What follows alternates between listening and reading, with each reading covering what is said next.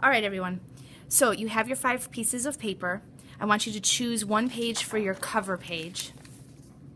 Then pick two more colors, and you're going to stack them on top of one another so that it looks like there's only one piece of paper. Then you take the next two, and you're going to create tabs for your foldable.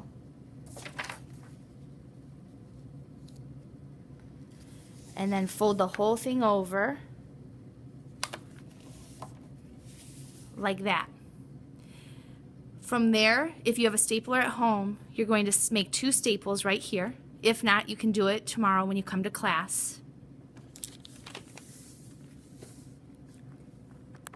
Now, what I need you to do is pause the tape for just a minute and get all of these tabs labeled. Please make sure that you cut this one all the way up the middle. This one also gets cut. And the last one gets cut, decomposition reactions and combustion reactions. When you're done with that, you're going to make four tabs here for your four types of decomposition reactions. You only need to write the headings for right now. I'm going to have a separate lecture on these types of reactions later.